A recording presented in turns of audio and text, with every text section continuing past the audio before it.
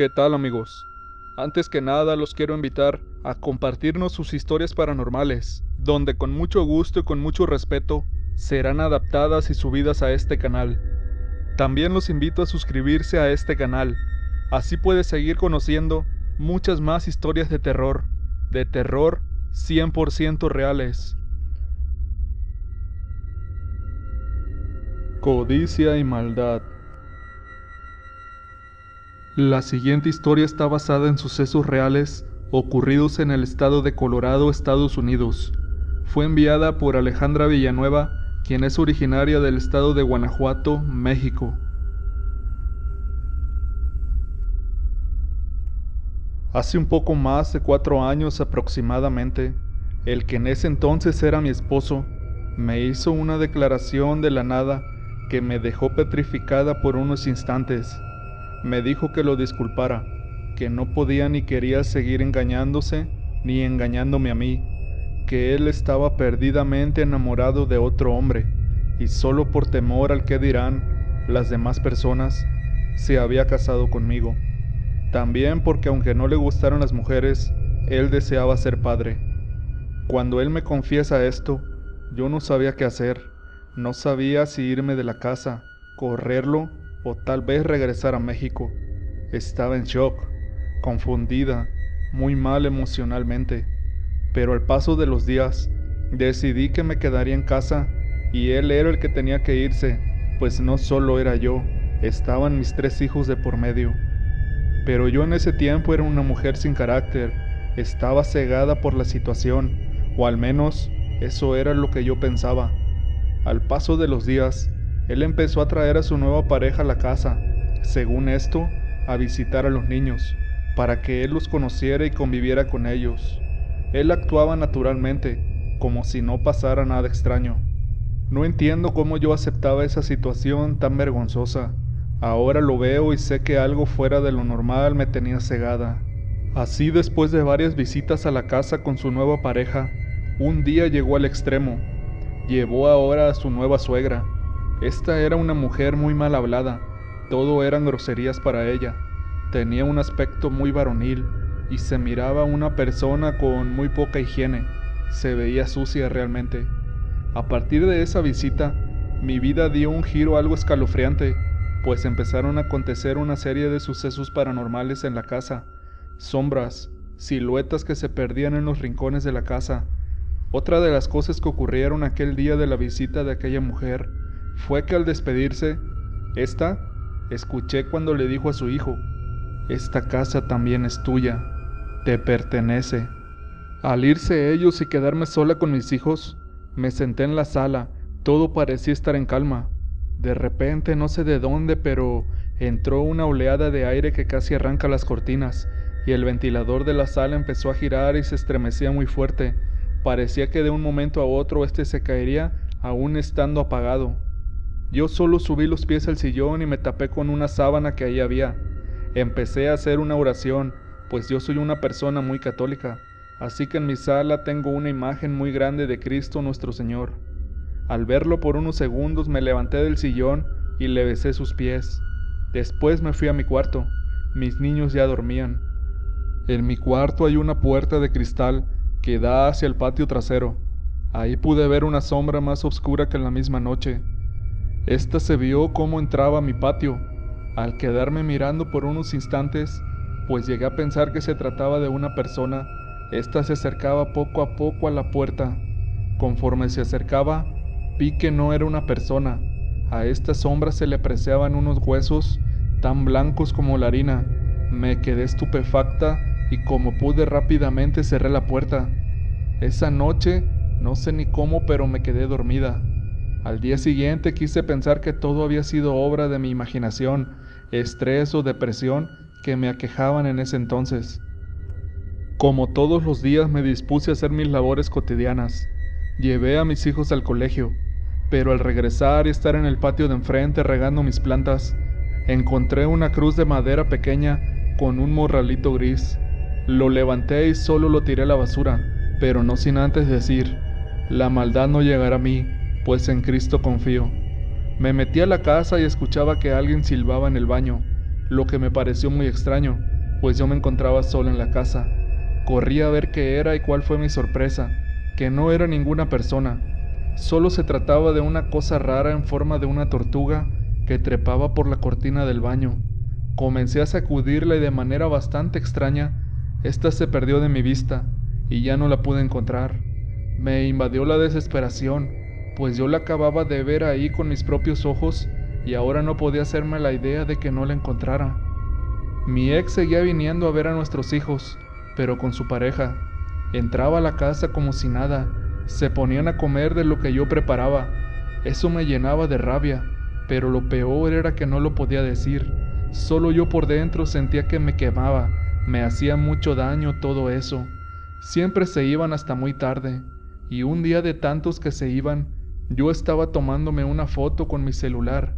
Cuando la miré, me llené de espanto al ver que aparecía detrás de mí una niña con la cara redonda, pelo muy largo y solo las cuencas oscuras donde se supone deberían ir los ojos. De verdad que me llené de miedo y solo se me ocurrió hacer una oración, aunque en pedazos, pues del mismo miedo no me salía completa. Serían las doce de la noche cuando por fin me quedé dormida. Tuve un sueño. Era como si mi espíritu estuviera en el techo de mi cuarto y mi cuerpo yo lo podía ver acostado en la cama. En eso miré que entró por la puerta a lo que llaman Santa Muerte. Vestía una capa negra con gris. Era muy alta, casi pegaba al techo. Solo me miró por un momento y se retiró de nuevo por donde mismo. Detrás de ella iban tres seres. Estos eran esqueléticos y al igual de muy alta estatura. Los cubrían unas capas negras. Se escuchaba un tipo de sonido ensordecedor, como de estática o una mezcla de un radio descompuesto con un esmeril afilando un cuchillo. Yo miraba que en mi cuerpo físico la boca se me torcía. Deseaba que alguien me despertara, no me podía mover. Fue hasta después de unos minutos que por fin lo logré. Al despertar, aún seguí escuchando aquel ruido ensordecedor. En el transcurso de los siguientes días fue lo mismo. El mismo silbido, lo escuchaba en el baño ahora. La misma pesadilla se repetía todas las noches.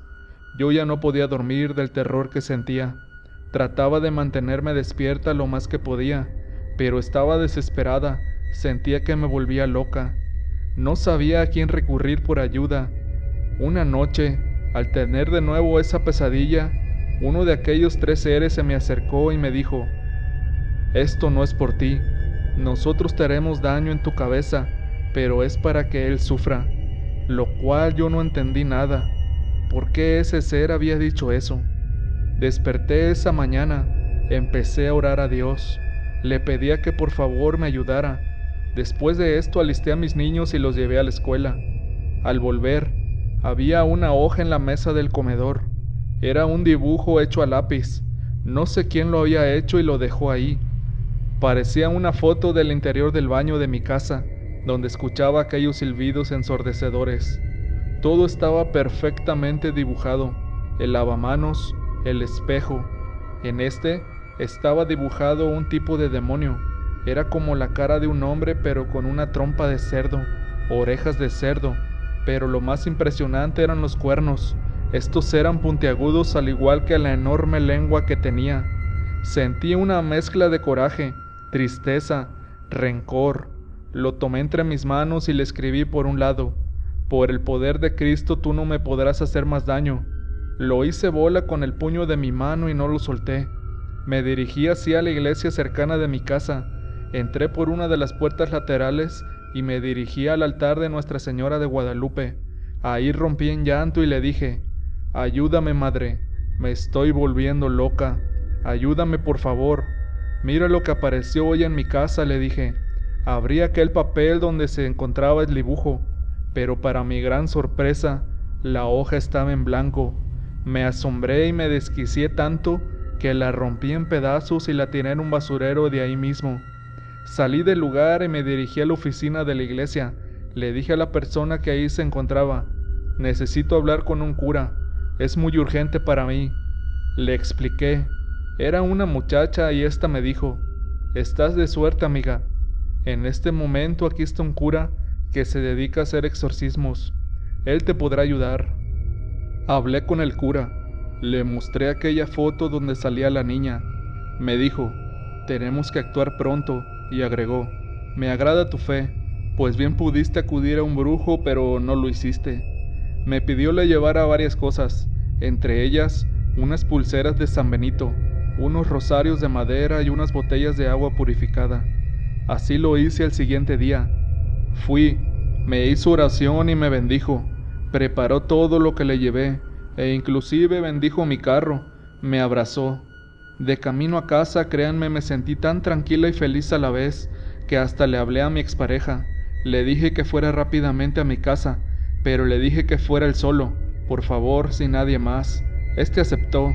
Le conté todo lo que pasaba, pues él no tenía ni idea de lo que me estaba ocurriendo. Le dije, tú también tienes que protegerte. Tienes que usar esta pulsera y también este rosario, pues para mí que a ti también te deben de estar dañando, pues tu aspecto ha cambiado, te ves muy delgado y ojeroso. Él aceptó ponerse la pulsera, pero el rosario lo escondería, pues dijo, a él no le parecería. Refiriéndose a su nueva pareja, pues él solo cree en la Santa Muerte, dijo. Al escuchar esto, me sorprendí, pero así quedamos. Cuando él se fue me acosté, me quedé dormida en la sala.